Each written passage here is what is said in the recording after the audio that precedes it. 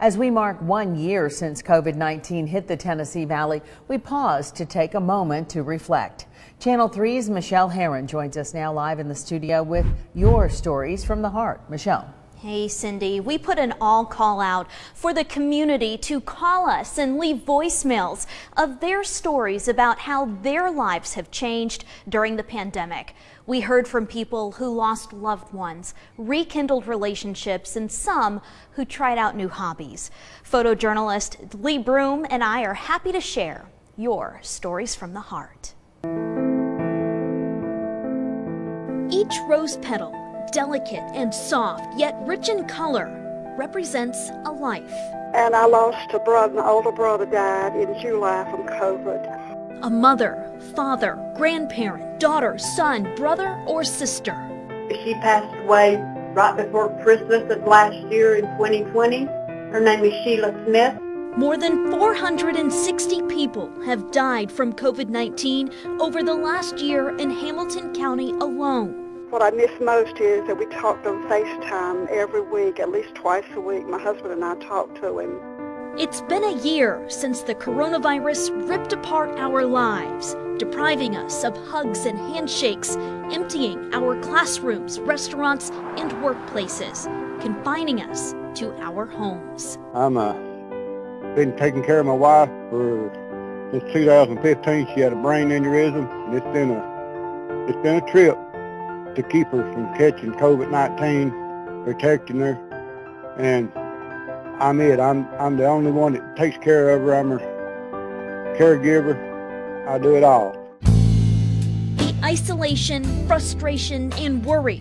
I'm an 84-year-old down here, in Whitfield County.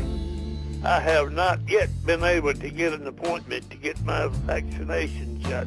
Taking a toll on us all and I am a retired teacher, and I also work as a foster grandparent, but they uh, have not allowed us in the classroom here lately. Since we couldn't go to work, I became depressed. But through the unknown, many of us have found light. I guess you could say that during the pandemic, our lives have gone to the dogs. Ways like never before. Four months ago, we volunteered to foster a puppy and were given a 10-week-old golden retriever and Australian shepherd mix named Tank. He'll be with us for another four or five months, at which time he'll be paired with a vet, and they'll be trained together. Others have used this time to rekindle old relationships. With each letter I wrote, I just felt joy and happiness knowing that I was going to give them comfort.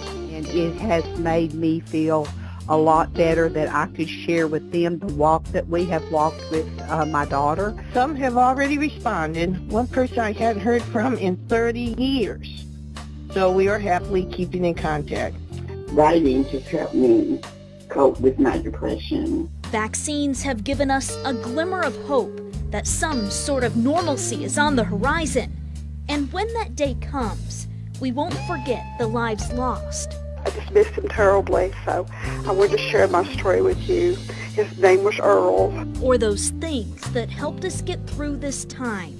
God guides me, gives me inspiration, and it gives me hope. It makes me feel good. A time in history that will bind us together while keeping us apart. God bless you, and uh, keep wearing your mask. Each story is so unique and so wonderful. We would love to hear more of your stories. You can share them with us on our Facebook page. Reporting live in the studio, Michelle Herron, Channel 3 Eyewitness News.